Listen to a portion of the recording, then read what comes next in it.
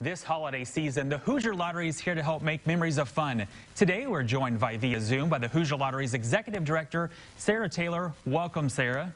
Thank you for having me. We are excited, especially for the holiday season. We have the reason to be excited as we look forward to the holiday season. And I, I understand that the Hoosier Lottery is once again bringing the fun and excitement back to people with a theme, Holiday Memories Made from Scratch. Yes, the holiday season is such a welcome time for all of us. And as Hoosiers, we love to celebrate and use our traditions and our cherished memories.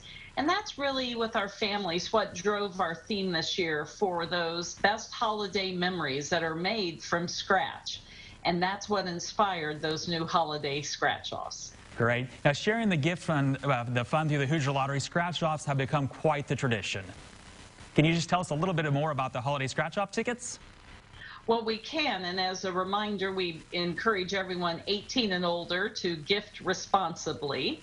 And we have a dollar tis the season, a $2 deck the halls, a $3 candy cane crossword, the $5 Merry multiplier, and the $10 holiday cash blowout.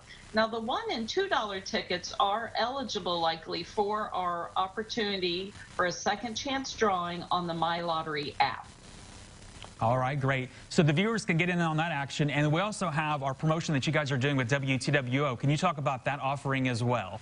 Yes, we love that partnership. Absolutely. Now through December 21st, we're teaming up with you and asking the viewers 18 and older to submit their favorite new or old traditions for a chance to win a $200 Hoosier Lottery prize pack. Now, Tim, I heard you like to bake made from scratch cookies, and you like to give those away to your friends, and sometimes you like to even include a scratch off. What a great idea!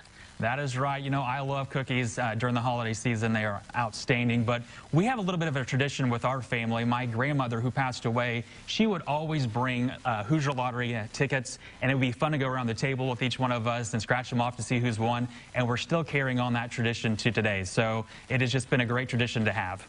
What a great memory. Yeah, it is. And uh, those photos that uh, people can share on the contest on mywawabashvalley.com, I think that's just going to be a great way to tie all this in together. And uh, they can share those. And we've got all the contest rules and everything uh, online for, the, for our contest. So uh, this season also, Sarah, uh, you know, the Hoosier Lottery continues to give back to the state of Indiana all year long. Can you tell us a little bit more about that as well?